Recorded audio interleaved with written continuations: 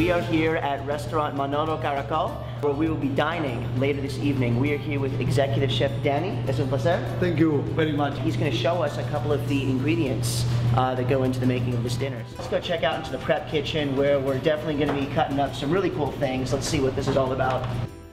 Their 12 course prix-fixe dinner menu features hand picked local ingredients and flavors from around the world. And before sitting down to dinner, we were lucky enough to get a behind the scenes peek at the night's specialties. What they do is they go to each farm individually. They get to know the people growing the ingredients to make sure that it is brought up to perfection, exactly what they are looking for to serve people like you and me. Este es un piquillo relleno de vegetales. The stuffing these chili peppers right here with an eggplant and zucchini mixture with a rich goat cheese to make a good clash of textures with the sweetness and the spicy kick of that pepper to really get a lot going on in there. So the first thing we noticed is uh, a lovely pot boiling over here and the key ingredient is this Jamaican flower. O saril. Saril is the, the name too. Esto es una, una flor que se come el pétalo solamente. Esto, la cosecha es en diciembre. Esto está deshidratado por un grupo de mujeres indígenas que lo tiran al sol 4 o 5 días y se deshidrata para tenerlo durante el año.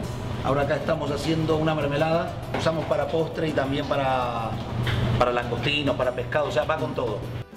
So imagine a tamale wrapped in a banana leaf, and the two main ingredients are a native Panamanian fruit called, what is it again? ¿Qué es el fruto?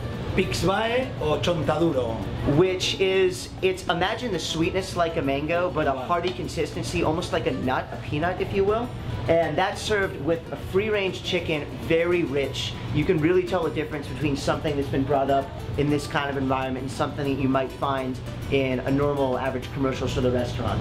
If you've heard of baklava, you might imagine it as your typical Greek dessert. Well, not here. It seems that what they're doing is they're imagining a, imagine a langostino baklava. Langostino is like an enormous shrimp that they're wrapping in a phyllo dough with the spicy jalapeno to give it a really savory sort of gourmet kick. So that introduces just a few of the many courses that we may dine on tonight. Uh, Chef Dany, thank you very much. Ok, un placer. Okay. See you at dinner.